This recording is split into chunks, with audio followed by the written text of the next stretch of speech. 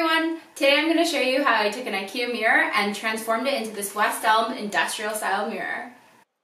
So first thing first, bring the mirror outside so you can get it ready for spray painting. And of course have the partner bring it out for you because why not?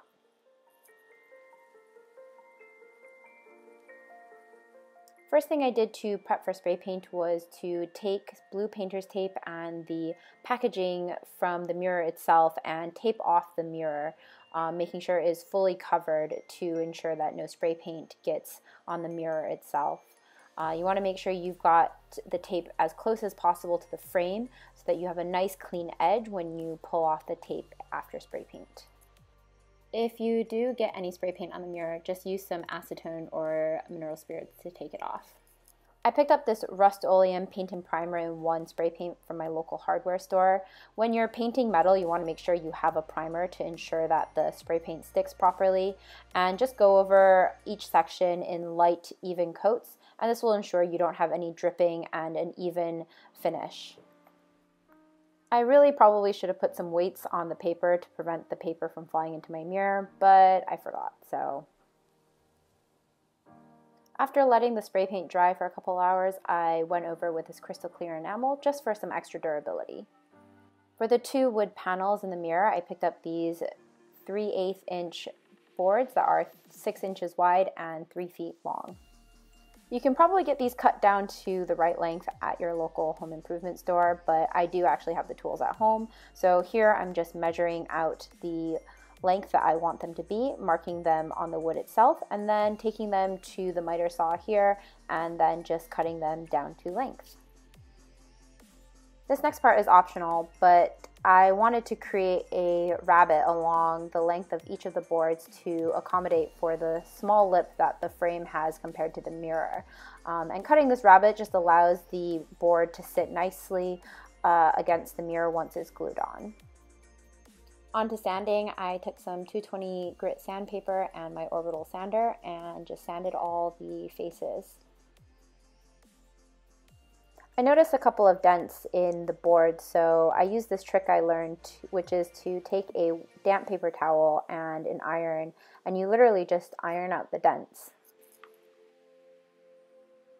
Again, this next step is completely optional, but I wanted to pre-stain my boards just to avoid any blotchiness when I get to the staining portion.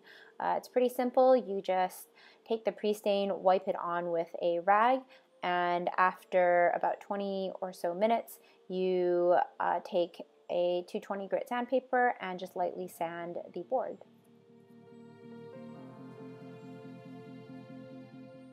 I promise we're almost done after this. Uh, after the pre-stain, I finally got around to putting on the stain.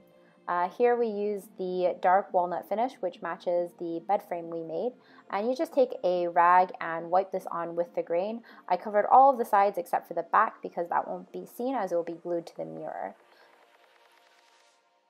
I didn't show it here, but we also applied two coats of polyurethane just for extra durability on the boards.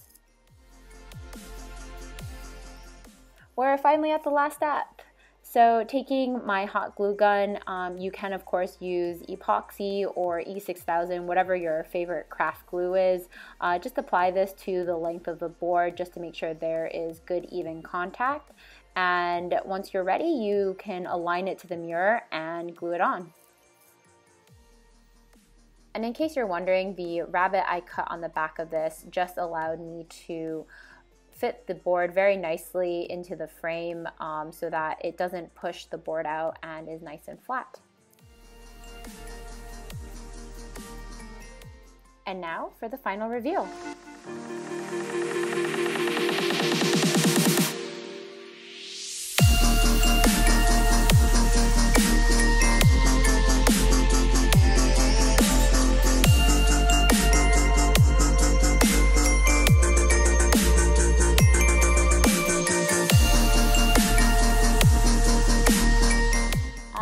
Absolutely love how this IKEA hack turned out. Uh, now I just need to get the rest of my bedroom decorated and ready to go.